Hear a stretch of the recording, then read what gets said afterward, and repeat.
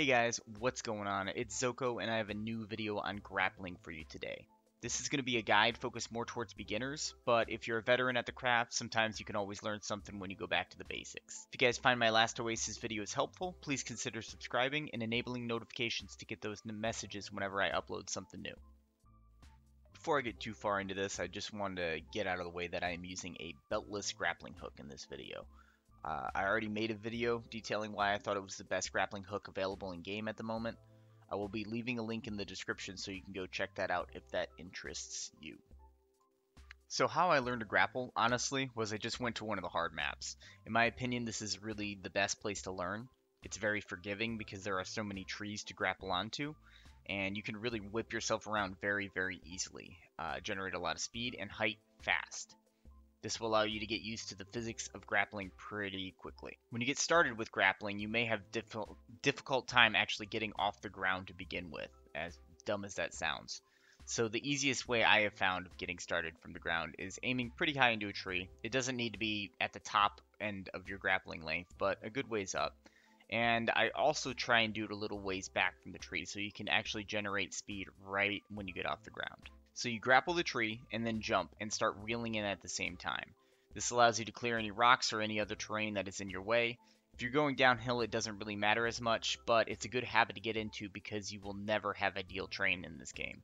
Uh, if you're flying through the forest, a lot of times shit has completely hit the fan, and you need to have some muscle memory dialed in when it comes to this. Reeling after grappling isn't just used when starting out either. It will also be pretty necessary if you grapple at the very top end of your grappling range because of all of your slack that is out. You're going to have just much further to fall. Now, obviously, the bigger your arc downward, the further you'll go as well. You just got to watch those kneecaps. Grappling is a critical skill, and even more so for the solo player. You can be a pest to groups when you're fighting around the tree line. A lot of clans have realized this, and if they start getting messed with, you will notice they'll literally chop down every single tree around them.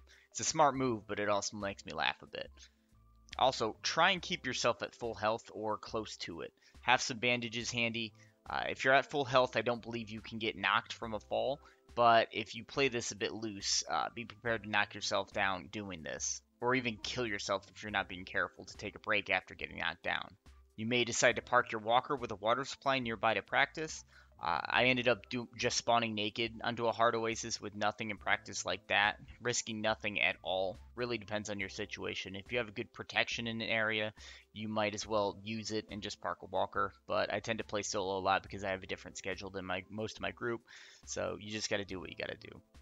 When grappling and you find yourself at a dead hang, you can start swinging easily in any direction using the movement keys. You can get a decent swing pretty quick, so if you need a second to get your bearings before continuing to practice, that is totally fine.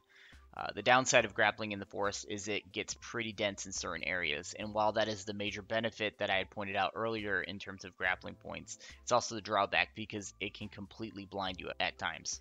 In this game, it is very, very important to become proficient with this skill. Having good movement is frequently what will set apart a very exceptional player from the pack. I hope you found this video helpful and you improve your grapple game using it.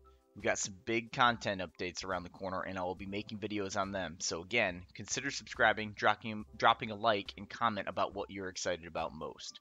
Also, I do live streaming on Twitch. My link is in the description below, so check that out if that interests you. Have a great day.